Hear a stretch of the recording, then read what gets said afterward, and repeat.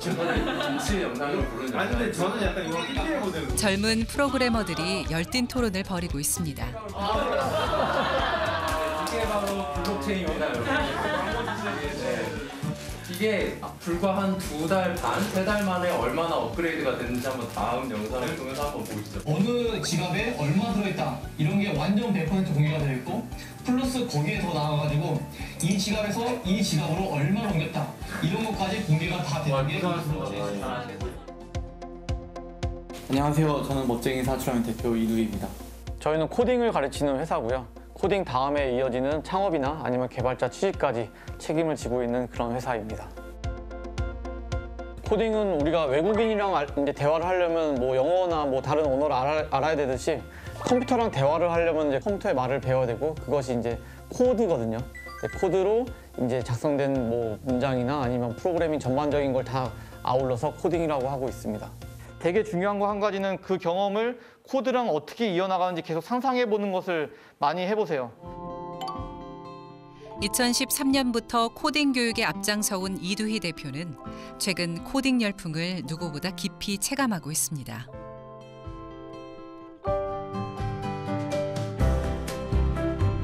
제가 지금 코딩 교육한 지 10년째거든요. 처음에는 전 30명을 데리고 수업을 했거든요.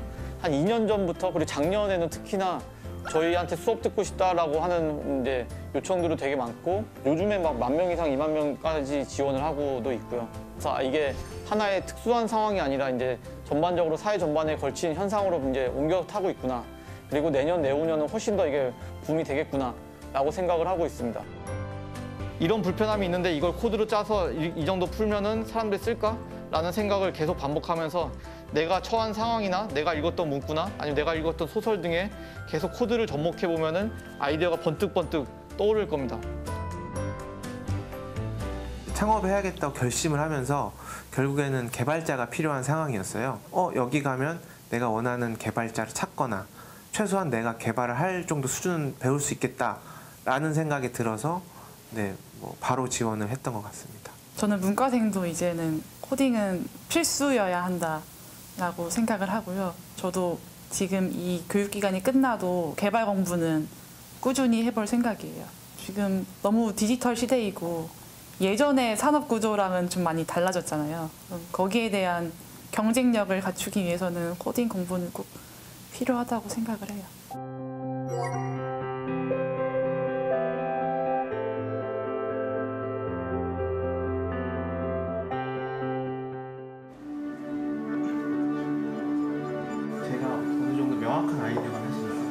네. 금융에 관련된 서비스 디지털 시대의 예비 창업자에게 코딩은 아이디어를 확장하고 실현하는 도구가 됩니다.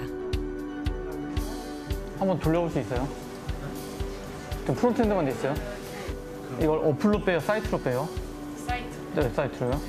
오픈했는데 아무도 안 쓸 것 같다라는 생각도 계속 하시면서 그렇다면 쓰게 되려면 어떤 포인트에서 쓰게 될지 개발한 지 얼마나 됐죠, 이거?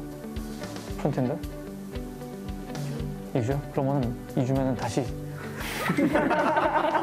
다시 다시 우리는 어쨌든 코딩을 발판으로 딴 걸 만드는 거라서 코딩은 그냥 minimum으로 깔고 비즈니스 develop 이런 거 엄청 하세요.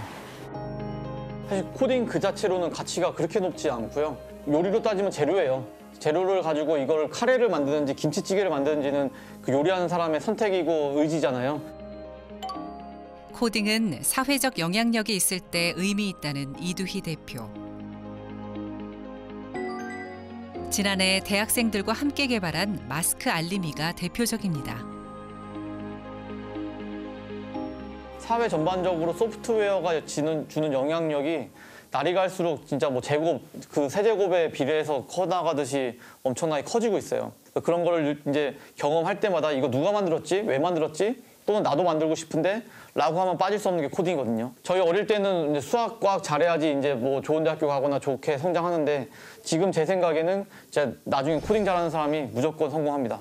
네, 그래서 저희가 10월 12일 날 메타버스 수업 로블록스 강의를 열었는데 현재 프로젝트 라이온에서 높을 매출이 가장 높은 상태입니다. 옛날 같으면은 아무리 트렌드가 바뀌어도 그게 교육이 가장 늦게 반응을 했어요. 지금은 이제 이렇게 세상이 바뀐다고 하면은 바로바로 그거와 관련된 교육 콘텐츠들이 바로바로 소비가 되는 세상이 된 것 같습니다. 저는 계속 파도라고 생각하고 있는데 이 파도가 계속 치고 있는 상황에서 파도를 올라타가지고 계속 내 인생을 꾸며 나갈지 아니면 계속 맞으면서 그냥 내 꿋꿋이 있을지에 대한 판단을 해봤을 때 그 즉 10년 뒤에 내가 이 직업을 그냥 유지를 하겠다 내지는 나 이미 잘 먹고 잘 살고 있는데 굳이 뭐 바뀌는 게 오히려 거부감 든다라고 생각하시는 분들은 사실 배울 필요가 하나도 없어요. 어, 나는 당장 뭐 5년 뒤에 다른 직업을 선택하든지 아니면 지금 내가 있는 필드에서 한 단계 업그레이드를 하고 싶다라고 생각하면은 코딩이 빠질 수 없다라고 생각을 하고 있습니다. 또 하나 다른 세상이 열렸다. 블록체인이 열렸다. 제일 먼저 선구자가 되어서 깃발 꽂을 수 있는 사람은 무조건 개발자인 세상이 됐어요. NFT 엄청 핫하잖아요. 그래서 NFT 발급할 수 있어? 라고 물어봤을 때 일반인들 발급할 수 있는 사람 아무도 없는데 개발자한테는 그냥 어 그거 그냥 내 컴퓨터 열어서 야 3분만 기다려. NFT 하나 너 지갑으로 갔을 거야. 거기서 이제 더 나가보고 더 나가보고 테스트해보고 이런 능력을 가진 자와 그냥 뉴스만 보고 또래에서 그냥 아티클만 공유할 수 있는 것의 레벨 차이는 지금도 엄청 큰데 뭐 너무도 당연히 10년 뒤에는 뭐 비교할 수 없을 거라고 생각합니다.